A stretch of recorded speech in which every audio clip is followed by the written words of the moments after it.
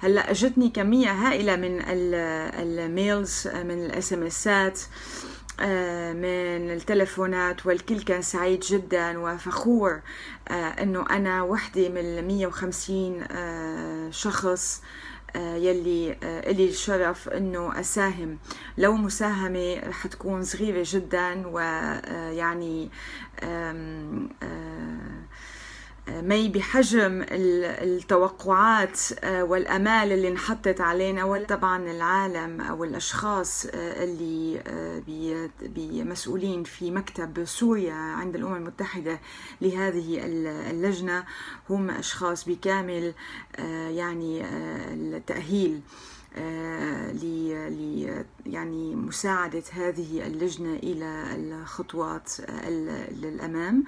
فهن منن يعني عم بيستنوا نصائحي ولكن إذا شددوا بأنه هن بدهم يعرفوا النصائح فبدي أقول إنه من المهم جدا إنه نستخدم اللحظة الحالية اللي نحن فيها ونمسكها من أجل يعني تقديم نتائج ملموسة إلى الشعب السوري وطبعا إلى المجتمع الدولي اللي يعني بيطلع وعنده آمال كبيرة من اللجنة.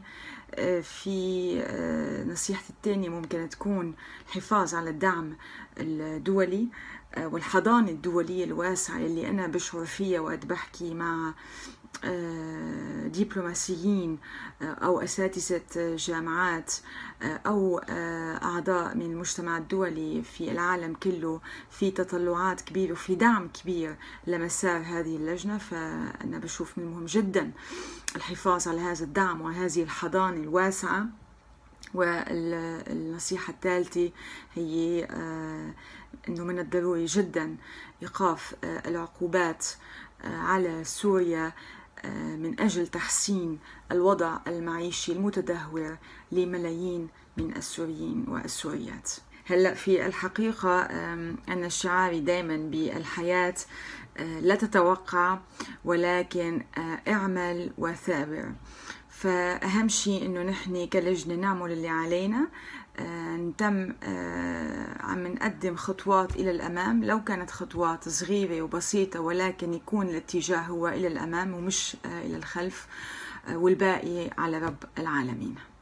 وطبعا ممكن عن طريق الاتحاد السرياني الأعلامي العالمي تتركوا comments و reactions تحت هالفيديو وإن شاء الله بيصير لي فرصة إنه جاوب عليهم.